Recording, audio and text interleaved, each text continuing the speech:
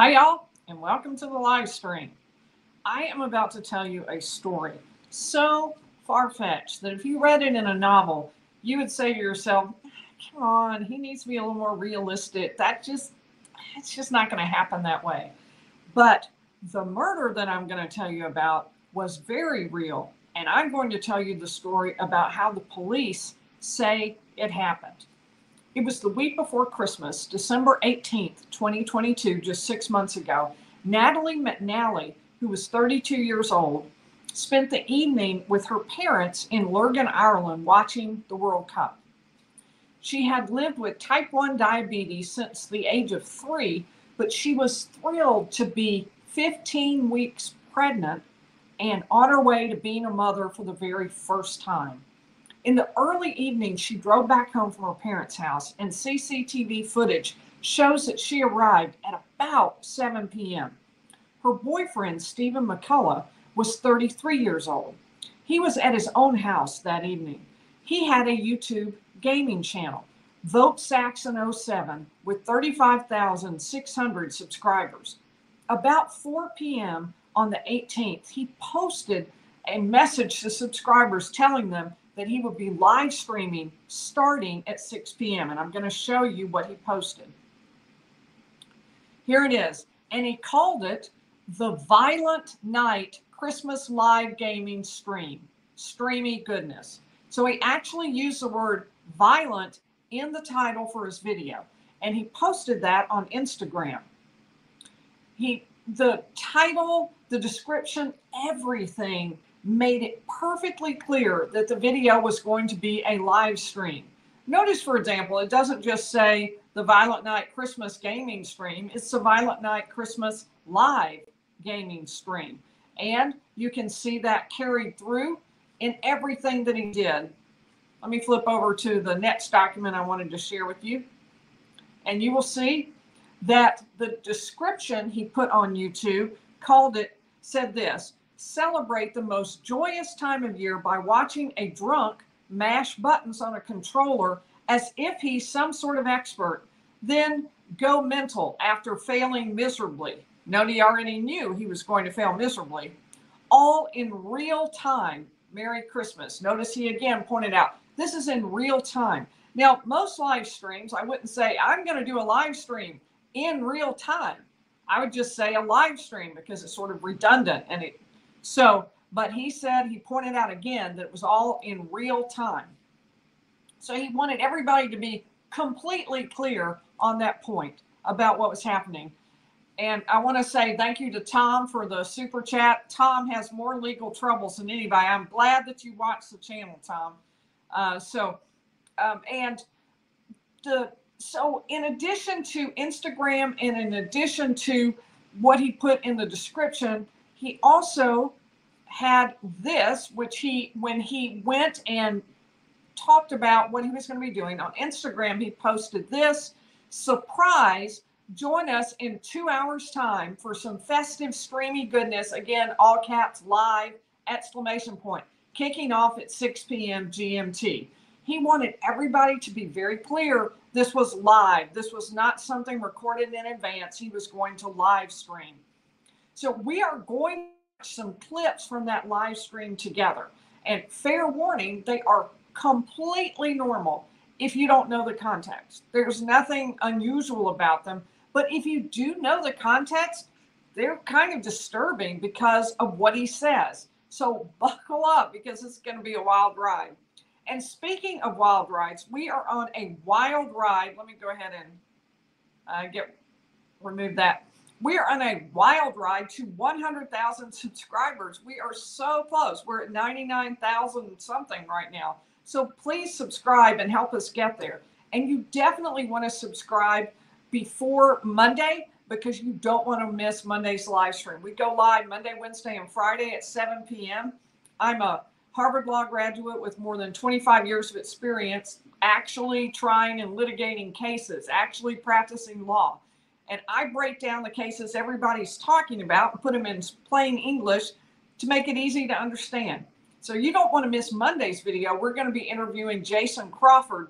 He Facebook canceled him, deleted his account, and nobody would talk to him about it. So he sued Facebook and won, and he's going to come on and he's going to tell us the inside story about what happened. It's been reported in all the major media, but in little bitty form, just a slight blurb. This is going to be in depth, and you're going to find out the truth about what really happened. And I want to say thank you too to Ether Bunny. Thank you very much. I appreciate your support. So also hit the like button if you would for the video. That'll help YouTube get it out to more people. So let's get back to our, our tale. Just three minutes before Stephen McCullagh's live stream was supposed to start at 5:57, Stephen texted his girlfriend Natalie and said, "Right, I'm off to stream the night away. Wish me luck." His subscribers were pleased but clearly surprised to see him be on a live stream. And I wanted, I captured a few of those for you. Here's what one wrote Streamy goodness, it can't be. It's been years. So it isn't as if he regularly was live streaming. He had not, and I'll tell you exactly how frequently it was in just a second. John Smith wrote, It's been a while. My video maker 100 wrote, Good evening on your end, Stephen. Been a long time.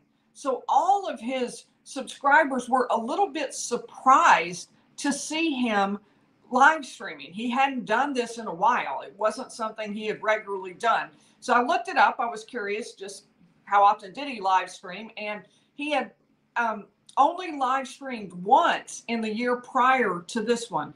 The year before that, he had live streamed 13 times in one year.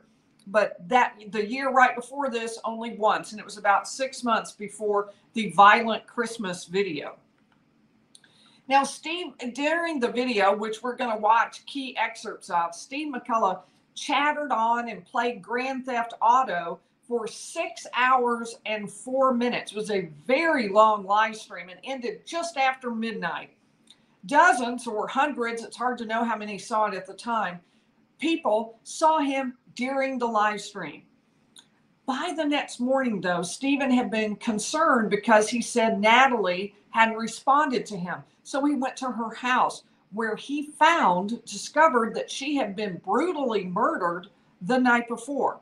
According to police, Natalie had multiple stab wounds to the neck. She had head injuries from a blunt instrument, and someone had strangled her around the neck. Natalie's own father would say he had trouble identifying her body because the wounds were so severe. This is what he said. I had to look about three or four times before I could say, yes, definitely, that was Natalie. What he done to her. He battered her. He hit her over the head with something. He strangled her. She had bones broken in her neck, too. And then he stabbed her to death. He didn't just come in and stab her, it was a frenzied attack. The suspicion immediately landed on Stephen, the boyfriend who had found the body, and he lived a little less than half an hour away from Natalie in Woodland Gardens, Lisburn. In fact, he was actually arrested. It wasn't just suspicion, he was arrested, but he had the perfect alibi. Dozens or hundreds of people had seen him during that live stream. How could he possibly have committed the murder when he was live streaming for six solid hours and the murder occurred somewhere in the middle of that time time frame. How is it even possible? So by December 24th of 2022, the police released Stephen and stated publicly that he had been eliminated as a suspect. Now, after he was released, Stephen was the picture of the grieving lover. He went to Natalie's parents' home frequently. He attended a rally to help her family and to protest violence against women he prepared a montage of photos and video of her life to be shown at that rally. Natalie's parents were so touched by Stephen's deep grief at losing her that they allowed him to spend 20 minutes alone with her body on Christmas night. That was reported in the papers. But police say those good feelings may not have been mutual. They say that Stephen left a phone at Natalie's parents' home in order to record their conversations so he could figure out whether or not they suspected that he had committed murder. Now, the he says he left the phone just by accident. But police say that ultimate but police ultimately came everyone did to the same conclusion. Stephen McCullagh could not possibly have murdered Natalie because he had the perfect YouTuber alibi. But that alibi began to unravel as police found CCTV footage. One tape, for example, showed a man walking toward a bus stop at Kingsway, just two miles from McCullagh's home, at 7.09. The man was the same height and build as McCullagh. He had on a large hood that covered the top half of his face and a scarf that covered the lower half. So the man paid for the bus with cash. And if Stephen was the man, it's here that he made his first mistake. The man dropped his, the man in the video dropped his coins on the floor and then he couldn't pick them up with his winter gloves, with his thick winter gloves. So he took off the gloves and the camera on the bus shows that underneath his winter gloves, he had on yellow orange latex gloves. Prosecutors say they found a glove print with blood on it at the crime scene. The man was carrying a green bag, but the footage shows a black bag was inside the green bag.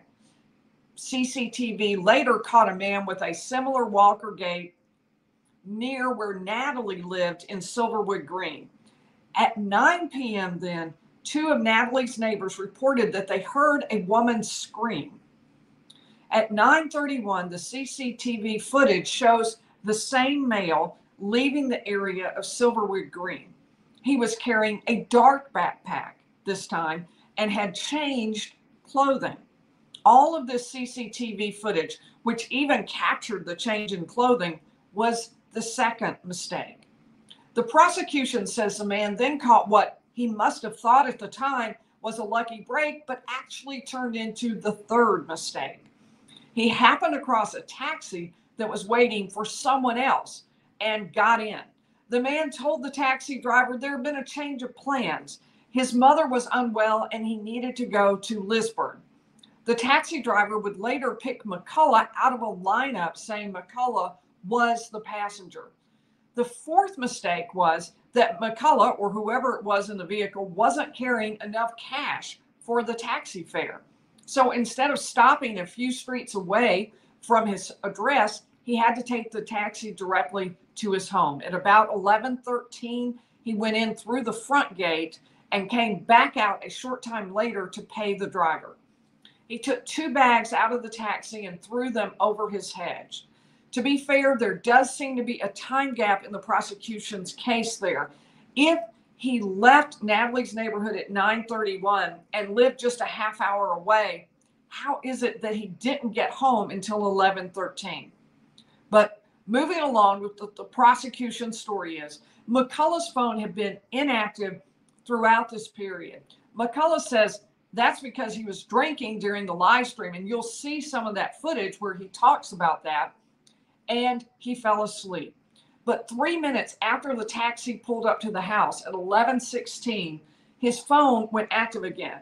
Now at this point, he should have still been on the live stream, but McCullagh says he had fallen asleep, and that's possible given that he does talk about that at one point during the live stream.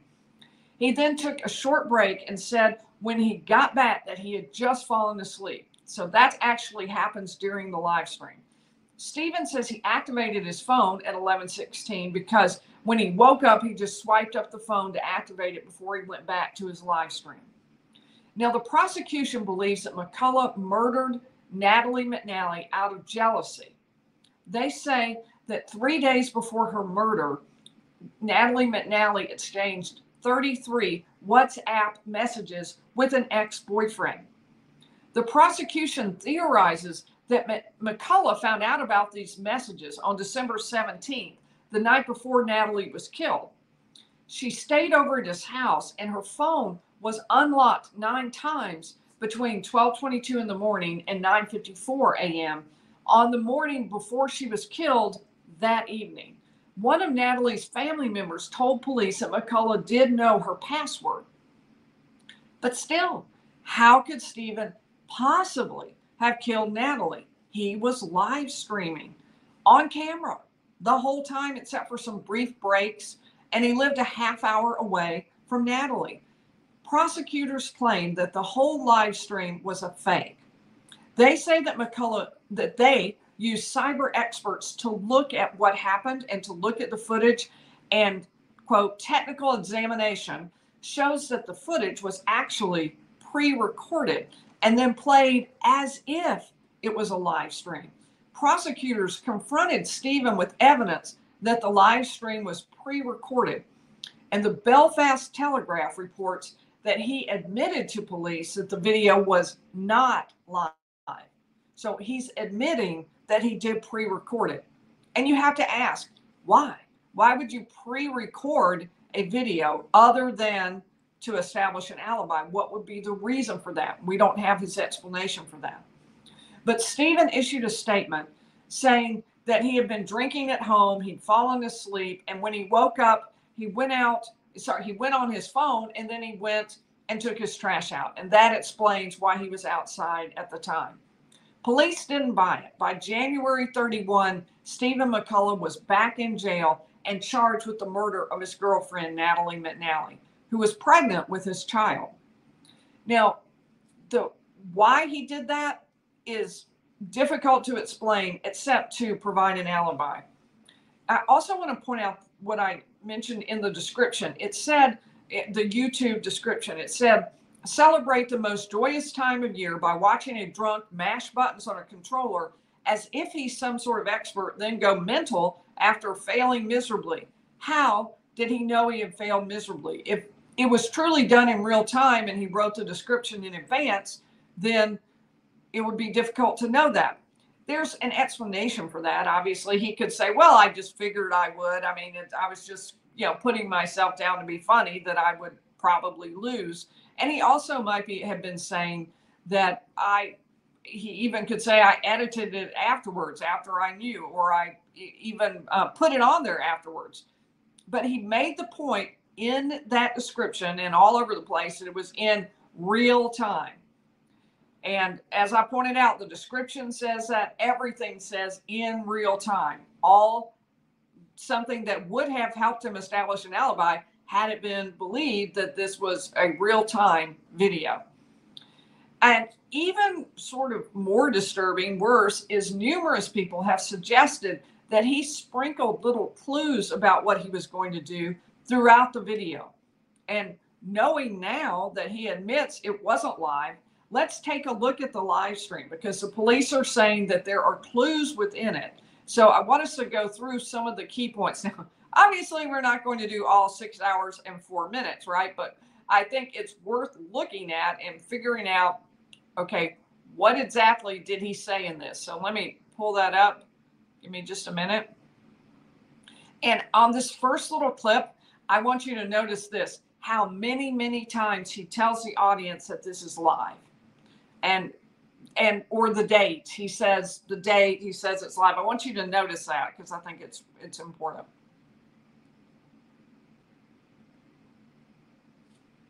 Dave. Hello, everyone. Um, yeah, a little bit out of the blue, this, isn't it? Got to do one. But, um, hang on, my levels are just a nightmare. There we go, bring that down a little bit. Uh, that could be a little bit better framed, but uh, that's the fun of being live. Uh, yes, so, hello, hello to all on this glorious Sunday evening. Um, yeah, so I just Amazing. thought, why not? I'm gonna do a live stream. Live. Because uh, this day next week is Christmas. Uh, so, Christmas. what more could you want we- for Christmas other than a, a, an evening with your old pal Stephen? Um, I genuinely do not know how long this stream is going to last for, and I've decided I'm gonna play around with it and do something a little bit different. Um, I, I wanted to do a live stream, and I've been wanting to do one for quite some time now. Only trouble is there's a there's a couple of elements, shall we say, me- that have been Stop it right there. So he admits right here that he hasn't done a live stream for a while, that it's abnormal. And in case you're wondering kind of what the configuration here, that big black area is where he's going to put the game that he's going to play. And he's in the little box in the corner, and it's got a little Christmas logo below him. been preventing me from doing anything. Uh, mostly it, it has been work, and um, it has been stuff in my private life. It's also been the fact that this computer is on its last legs. Couldn't, pardon me, couldn't hook up the PS3 to the computer to save my life. And in fact, this stream, I'm very worried about.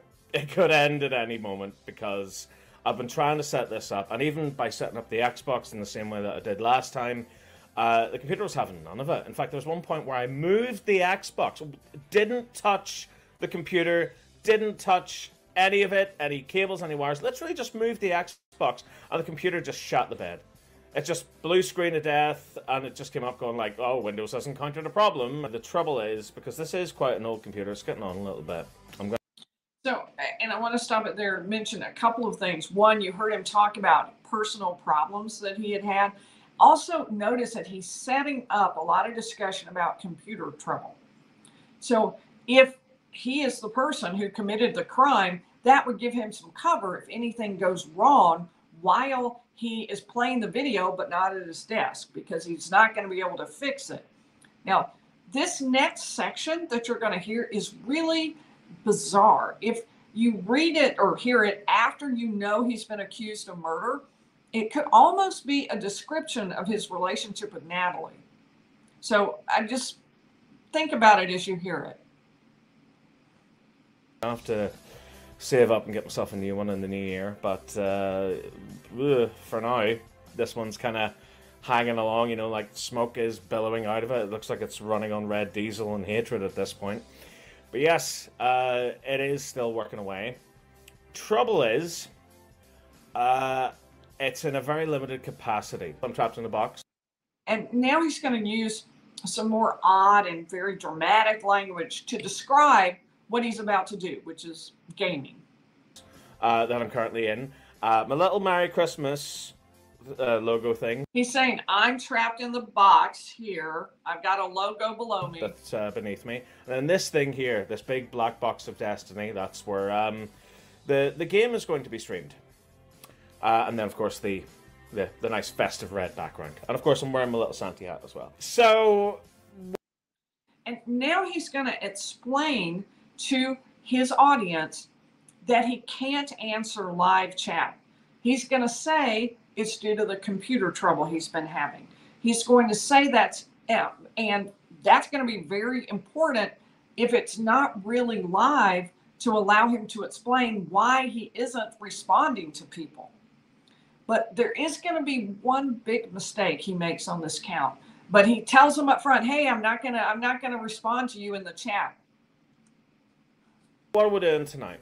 Well, because this streaming software is kind of up the left, it means I can't check the live chat, which is a real shame. So, by all means, talk amongst yourselves. I could use my phone to dip in every now and again and uh, check it, but I've decided that I kind of hate live streams where people just sit and read comments and go, "Oh my God, yes, ask me questions."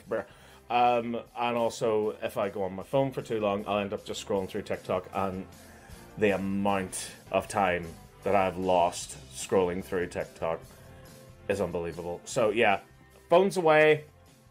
Can't look at the live chat for some bloody reason because if I do, it makes it, the whole thing freeze. I'm also going to.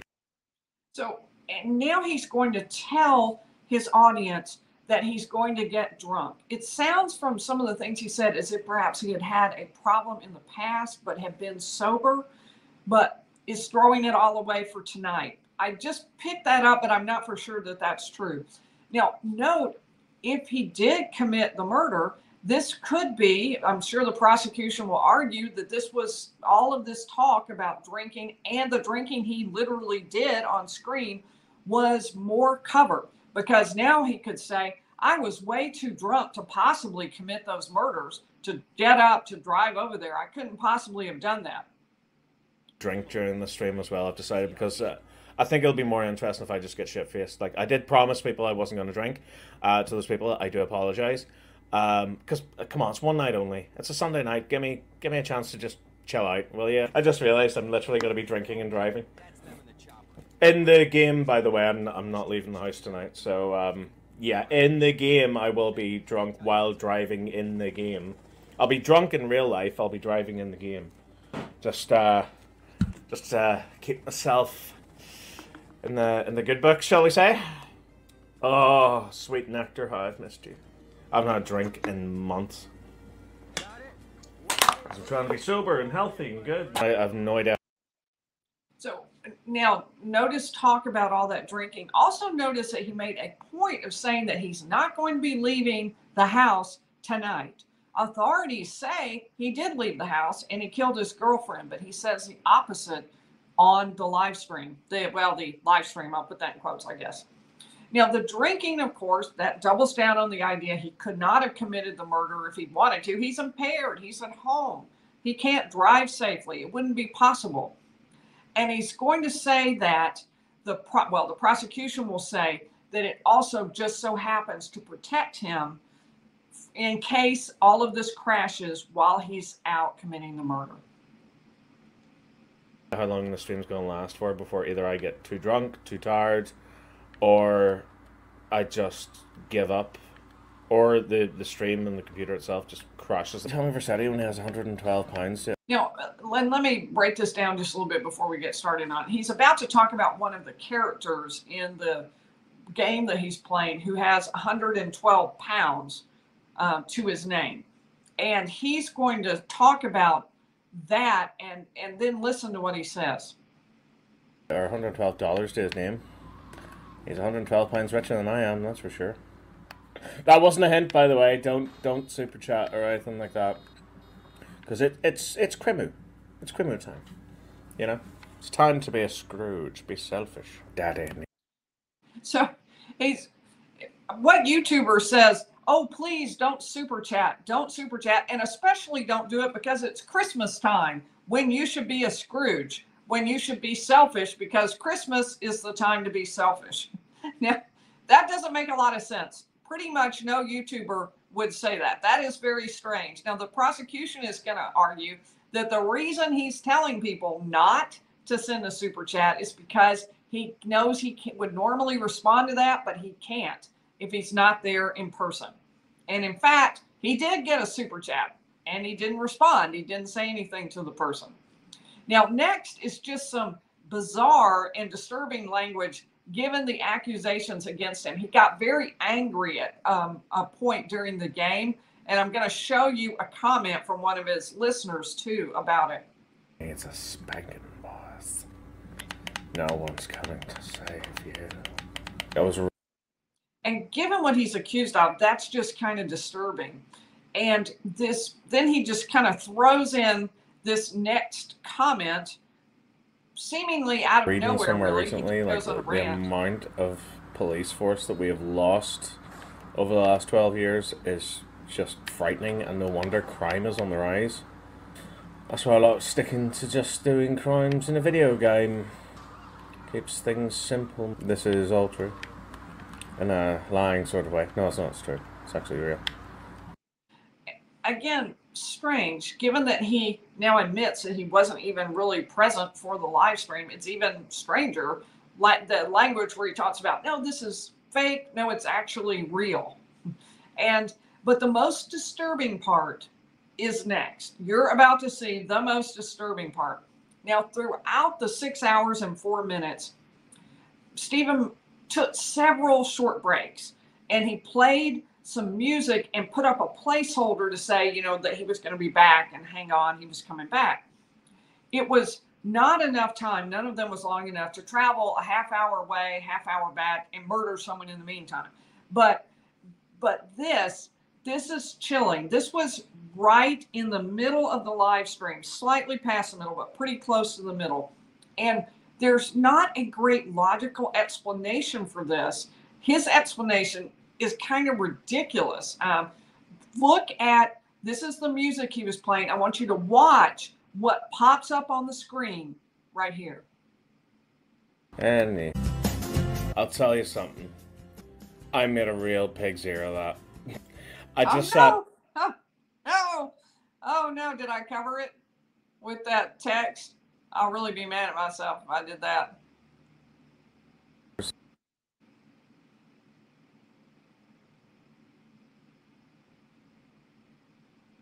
Asked for before either I get too drunk, too tired, or I am, that's for sure. That wasn't a hint, by the way. Don't don't super chat or anything like that, because it it's it's Crimu, it's Crimu time. You know, it's time to be a Scrooge. Be selfish. Daddy needs a spanking, boss. No one's coming to save you. I was reading somewhere recently, like the, the amount of police force that we've going if I- lost If it over the last 12 years is just frightening, and no wonder crime is on the rise. sorry, we're having to listen to that twice. Zero that. I just sat down. Let me go forward and see if. And, uh, Ah, could I possibly have cut that out? Anyway, Oh, that would really be uh, I have returned. All right. Well, I'll go ahead and explain it to you. And if it pops up later, you'll get to see it twice, or you get to hear it once and then see it. So what he does is, all of a sudden, up on the screen pops the James Bond "No Time to Die," the logo from the movie, and there's no real explanation for that. It pops up, moreover, right about the time that the prosecution says he was killing his girlfriend, Natalie McNally. The timeline starts at about six when he said he was going to go live. I don't know the exact time that he ended up going live, but that's when he said it would be. And this happened shortly after nine o'clock, which is about when the neighbors say they heard a woman scream. At 9:31, he's then seen in changed clothes and with a different backpack walking out. The man caught on CCTV is seen there. So what he says is, I'll tell you something. I made a real pig's ear out of it. I just and here's it. So in the middle of this music that's playing that that he kept putting up that was just a placeholder. Suddenly, out pops the logo of the James Bond No Time to Die, and then it pops away, and then he gets on, and this is his explanation I- for it. Pulled the controller and the headphones off the table, which hit the keypad, which um, it's apparently hotkeys are still connected, so it um, it went on to something else for a little second. Yeah. Anyway, uh, I have returned. So he his explanation makes zero sense. That somehow he pulled the he- controller and the headphones. He managed to hit some key and accidentally, at that exact moment, made pop up on screen the James Bond movie logo poster, "No Time to Die." That's that just seems really unlikely. But that was his explanation right there in the live stream. Was he playing cutesy? That's what the prosecution says. He thought he could get away with it, so he was just throwing in whatever he could. I'll tell you something else as well. That's how you know you're getting older because I lay down in a dark room there for about five or ten minutes, and um, I just I felt like blacking out. So again, he's talking about the alcohol, suggesting it made him unable to function. And then, if he truly used this as an alibi to commit murder, he goes on what can only be described as a very bizarre and disturbing rant. You're about to hear it. If, in fact, what he's doing is covering up the fact that he plans to murder his girlfriend at some future point. Remember, he had to be actually recording this in advance. It has to have been planned out enough to have recorded a six hour video in advance and then posted it. Well, do you know what? It's it's Christmas. It's a time of togetherness, you know. So like whenever I'm taking breaks, text a loved one, you know, or a friend, or just you know family member, someone you haven't spoken to in a long time. Get a little text and go, "Merry Christmas. How's things?" Maybe it's someone that you've fallen out with, or someone that you've just not spoken to in a long time because you know it's life. Life gets in the way. Fire them a little text. Just go, Merry Christmas. It's like what Bill Murray says at the end of Scrooged. You know? It's never too late. I have too many loved ones in my life, but the ones I love, I love with all my heart. So, you know, at least I've got that going for me. Now, the next segment starts out very curious, but turns into an explanation as to more about how the alcohol has made him unable to function. Oh, dear Lord. I think I've made a mistake. A horrible, horrible mistake this eve. Mainly because I've I've come to a realization And that realization is thus. Whenever you're young and you drink, it seems to give you energy. You know, you're up and about, bopping away on the dance floor, everything's great. And then you, you hit your 30s. And I think that's why the doctors are always like, oh, you know, like one, one glass of wine a day, it'll be fine, you know, it'll be great. Because um, this is the first time I've drank in a very long time, and I think it's really fucking with me. I think. And now it goes on to uh, more very disturbing rant. The important thing to take away from it is to use it as a time not for what we receive, but what we can give in terms of presence, in terms of love, in terms of sex. It's just been one of those nights, hasn't it? But um, but yes, I think the uh, I think the message rings true that Christmas it's not about the shopping, it's not about the lights and the tinsel and all that crap. It's literally just about having some time off to enjoy spending time with the people that you love. So hopefully I've done that tonight and given you a couple of hours of madness of me freaking out. So until next time, everyone, thank you for watching. Good night. So you can see that the police will make great hay with that. They are going to claim that all of that was faked, that he did it knowing that he was going to use that six hour and four minute live stream, live stream to cover while he went and killed his pregnant girlfriend, Natalie McNally. Now, there's a section where he goes really ballistic, yelling at the computer game. He's just lost, and he then drives along the side of the road, mowing down fake people in the video game. There was so much cussing that I decided I, I couldn't edit it enough to even show you what was happening. But his subscribers noticed, even his subscribers, and I thought I would share with you um, what his subscribers, what one of his subscribers said. I've heard Stephen rage before during the COVID lockdown, streamy goodness, but not as much as he has tonight.